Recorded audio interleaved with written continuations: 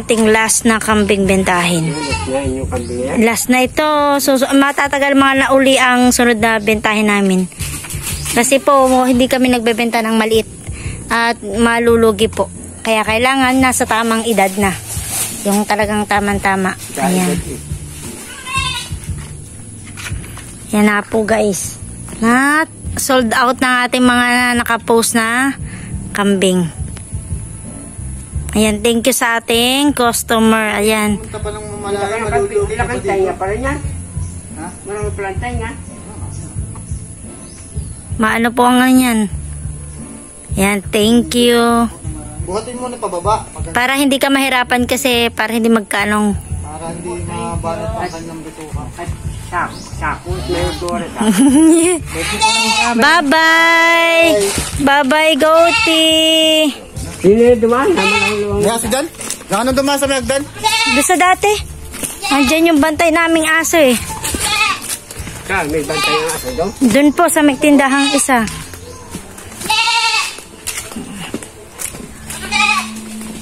Luwag yan. Yan. Oh.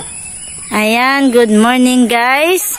At tayo ay magbebenta na uli ng kambing. Ayan, naibenta na natin ang patatlo nating barako. Ayan na siya, babay na sa kanya. At ngayon, ibibigay na yung ating benta guys. May pera na ulit tayo.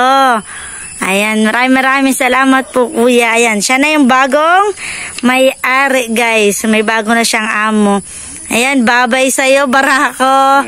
Ayan po, thank you, thank you, kuya. Ayun, ang ating mahiwagang benta. Naibulsa na po ng aking asawa.